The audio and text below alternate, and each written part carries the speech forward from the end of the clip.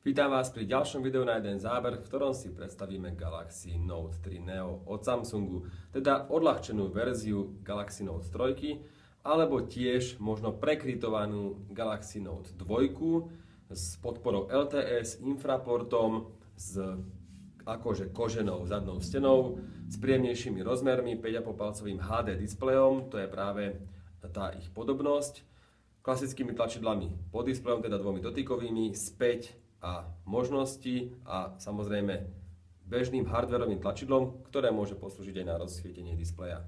Je to návykové a každý používateľ Samsungu to vie. Je to prístroj, ktorého prítomnosť na našom trhu môže byť otázna, pretože stačilo znížiť cenu Note 2 a ponechať predaj. Aj v tom sa ukrýva takéto dotykové pero, po ktorého vybratí sa môže zobraziť takáto ponuka. Skúsim si vybrať niečo zaujímavé, okno pera, som zvedavý, čo toto urobí. Tak teraz akože nič. A áno, samozrejme. Je to trošku pomalšie zariadenie. E, vidíte to aj sami na tomto videu. Otvoríme si napríklad kalkulačku, ktorá sa otvorí presne v takomto okne, aké som si nakreslil, plus, minus, nie úplne presne. Môžem ho potom aj zväčšiť alebo uzavrieť. HD rozlíšenie je úplne v pohode aj pri 5,5 palcovej uhlopriečke. Nepatrím k ľuďom, ktorí jednoznačne preferujú Full HD rozlíšenie, ale keď na neho máte peniaze, tak radšej investujte do Full HD, pretože to pri porovnaní dvoch prístrojov určite budete vidieť. Fotoaparát je 8 megapixelový, Samsungy fotoaparáty robiť vedia, ja zase nepatrím k fanúšikom 13, 16 megapixelových a viac megapixelových fotoaparátov v mobiloch. Tých 8 megapixelov je úplne akurát. Pri zázname videa môžete použiť pauzu. O, už sa to spustilo. Ako vidíte, aj toto trvá. Môžete tak samozrejme aj snímať fotografie. Pri režimoch alebo pri výbere režimov nechýba ani HDR, ktoré je v Samsungoch veľmi efektívne a, radi ho používame, samozrejme nie pri pohybujúcich sa objektoch. Nastavenia, tá horná lišta mohli byť trošku jednoduchšie, to už je vlastne z nových modelov. Taký pozostatok, ja som mal radšej tú vertikálnu lištu, myslím, že v S5 sa už nachádza aj v Note 3, toto je taký ako keby medzistupeň, ale skrátka dobre, ten fotoaparát robí e, dobré fotografie, pekné a nemáme mu veľmi čo vyčítať. Cenová kategória tohto prístroja je momentálne už na úrovni 350 eur, lebo za tú cenu ho kúpite v Nike, čo je seriózny obchod a pravdepodobne to ide o nejakú e, aktuálnu akciu, z ktorej sa však už nedá vymaniť a keď raz ten telefón má takúto cenovku v nejakom serióznejšom väčšom obchode, tak bohužiaľ ostatní budú musieť dorovnávať a nie pozerať sa s vyššími cenovkami na konkurenciu. Zadnú stenu, ktorú som povedal, ktorú, ktorú som už spomínal, že je taká akože kožená. Môžeme odňať, po ňom nájdeme 3100 batériu, čo je slušná kapacita, no a slot pre micro SIM kartu a micro SD kartu pamäťovku, pretože vnútri sa nachádza 16 GB pamäť s voľne dostupnými asi 11 až 12 GB. Rámka je 2 GB, to úplne stačí. 3 GB rámku nájdeme v Note 3 bežnej verzie. Kódové označenie tohto modelu môžeme nájsť v nastaveniach. Tie nastavenia sa nachádzajú alebo rozkladajú do takýchto štyroch zložiek. Môžeme prejsť cez zaradenie a ovládanie až na všeobecné a tu dole zistíme, že to je Samsung Galaxy N7505 so 4.3 Androidom zatiaľ. V nastaveniach sa nachádza množstvo zaujímavých vecí, už sú bežné v Samsungoch, máme tu napríklad screen mirroring alebo S-Beam, nechyba tu NFC, Môžeme ísť do sekcie zariadenie, kde sa nachádza možnosť používania viac okien. Stačí podržať krok späť, zobrazí sa mi takáto ponuka, môžem hore napríklad zobraziť mapu, no a dole napríklad e-mail. Idem na to a už tu mám dve okná, ich veľkosť môžem prispôsobovať. Samozrejme, nepočítajte s tým, že si budete robiť nejaké poznámky, pretože pri spustení e, okna alebo pri zväčšení okna nejakou klávesnicou sa takto trošku deformuje obraz potom musím ťuknúť hore a zase klávesnica zmizne a ono sa to potom prispôsobí. Takže na prepisovanie nejakých článkov alebo niečo podobne, nejakých informácií, to úplne nie je. Na to pozor.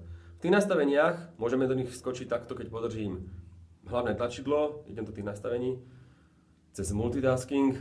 Nájdeme aj indikátor LED, teda prispôsobenie LEDky, kde si môžem vybrať, na čo bude upozorňovať. Bežná vec. Máme tu možnosť zmeniť písmo, pozadie, panel oznámení, ktorý môžem samozrejme takto vyrolovať rovno dvomi prstami a keď potom na ňom podržím prst, napríklad na Bluetooth, tak sa dostávam do nastavení Bluetooth. Je tých mož- týchto rôznych nastavení a skratiek je tu neúrekom a to sú práve tie špecialitky od Samsungu, ktoré som pred chvíľkou spomínal. Ako vidíte, nenachádza sa tu nič extra špeciálne, máme tu aj režim v rukaviciach, ovládania v rukaviciach, e, takisto nejaké to bez, bezdotykové zobrazenie, bezdotykové príkazy a tak ďalej a tak ďalej. Sú to skôr také pikošky e, pre majiteľov. Nemyslím si, že sú to veci, podľa ktorých sa rozhoduje potenciálny zákazník, aj keď napríklad Smart Stay, Smart Stay teda sledovanie vašich očí kamerou a teda nezhasnutie displeja, kým sa na ňo pozeráte, je zaujímavá funkcia. To uznávam. Už, už s ňou pracujú aj ostatné značky, aspoň s niečím podobným. Ponuka aplikácií vyzerá takto, je to klasika, už sú tu aj nejaké doinštalované, pretože tento prístroj používal kolega Matúš, ktorý ho recenzoval pre server Fony.sk a určite si tú recenziu na Fony.sk vyhľadajte, pretože tam nájdete množstvo zaujímavých typov a Matúš je práve dlhodobým používateľom Galaxy Note 2, takže ideálnym recenzentom tohto prístroja. E, tuto mám možnosť už využiť aj to tlačidlo možností, ktoré sa vlastne stráca z rôznych konkurenčných modelov. Ja som rád, že Samsung ho ešte aspoň kde tu ešte použije. No máme tu možnosť upraviť typ zobrazenia menu, či už to bude abecedná vriežka, prispôsobiteľná vriežka alebo abecedný zoznam. Aj na takéto účely je tá, to tlačidlo možnosti stále dobré, no a samozrejme so 4.4 Androidom sa už to využitie toho tlačidla trošku stráca, ale bude to aj po aktualizácii určite stále aktuálne. Takže, čo dodať? Ehm, samozrejme, klávesicu si viete zmeniť. V internetovom prehľadači môžete akorát tak naraziť na obmedzenie HD rozlíšením. Ak chcete veľmi, veľmi jemné písmo a e, veľmi jemné texty, tak samozrejme, že to Full HD rozlíšenie bude pre vás lepšie, ale vtedy musíte investovať aj viac peňazí. Za 350 eur to však považujem za solidnú kúpu, akurát sa pripravte na trošku pomalšie reakcie. Na tento okraj, ktorý je z plastu, nám už aj na testovanom zariadení v tejto časti, kde je reproduktor priemernej kvality, normálny reproduktor, už aj prasklo. Tuto asi teraz to vidíte, ak ten odles skončí, tak tam je to prasknuté. Pokračuje až po keď sa tak, ten taký skok. Dotykové pero je však veľmi návyková záležitosť a kto ho už na Samsungu aspoň vyskúšal, veľmi dobre vie, o čom hovorím. Oproti Note 3 tu ešte nemáme USB 3.0, ale nevidím v tom veľký potenciál, takže toto klasické micro USB je úplne dostatočné. Regulácia hlasitosti je vľavo, vpravo máme len vypínač. Ten zhasnem a ja sa s vami lúčim. Verím, že sa uvidíme už čoskoro. Zatiaľ dovidenia. A skoro by som zabudol ukázať vám takýto trik pre ovládanie jednou rukou. Je to funkcia, ktorá sa naozaj nazýva ovládanie jednou rukou, nájdeme ju v nastaveniach šup šup v časti ovládanie, ovládanie jednou rukou a môže byť pre, e, aktuálna a platná pre všetky obrazovky alebo obmedzená na nejakú funkciu. Môžeme napríklad ísť do internetového prehliadača. Mám tu dokonca spustené aj zadávanie adresy. Potiahnem touto rukou a ten obraz sa objavuje vpravo dole. Ak to urobím, zväčším ho. Ak to robím ľavou rukou, tak sa samozrejme stiahne do druhého rohu. Teraz neviem, ako to spraviť, aby ma to poslúchalo a už je to úplne v rohu. No a keď tam skúsim zadať adresu internetovú, tak sa objaví aj klávesnica. No poď.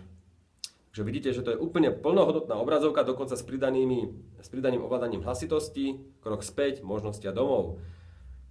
Ovládanie jednou rukou je veľmi zaujímavá vec. Nevravím, že by som podľa nej kupoval nový telefón, ale poteší, naozaj poteší a tak som vám musel ukázať. Dovidenia na budúce, priatelia.